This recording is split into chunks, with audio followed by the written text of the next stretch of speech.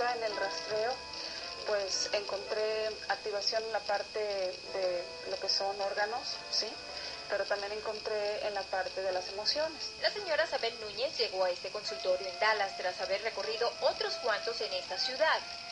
Había padecido tres neumonías y los tratamientos que recibió, dice, resultaron peor que la enfermedad. Incluso la medicina, pastillas, me estaban ocasionando trastornos de estómago, gastritis, eh, no me caían bien.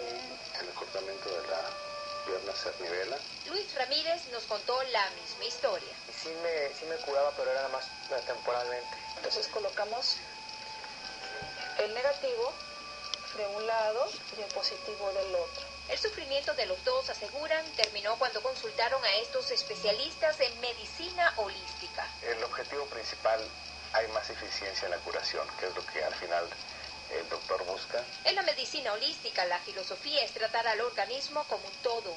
Síntoma de catarro que todavía no lo tiene presente. Pero también podemos hacer un diagnóstico emocional. En vez de estetoscopios o rayos X, estos dos imanes son los instrumentos usados para diagnosticar. Se están buscando los puntos de distorsión por bacterias, virus, hongos.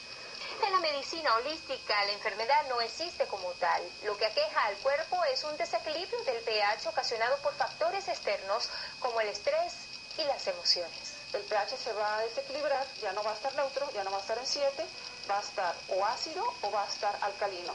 Y entonces van a venir los microorganismos, ya sea bacterias, sea hongos, sea virus, sea parásitos, sea uno, sean dos, sean todos juntos. Cada sesión dura unos 25 minutos. Te relaja bastante y eso te ayuda a tener tus defensas altas.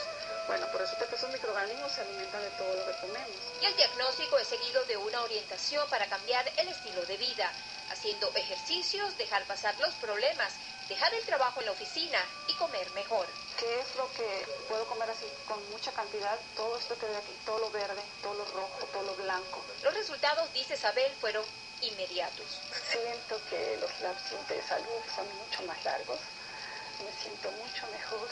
Tan bueno fue el resultado, dice Luis, que no tuvo otro remedio que ser infiel. Prefiero mucho más la, doctora que, que, que, que mi tío que el doctor. Andrea Rega, Noticias Univisión 23, 5 en punto.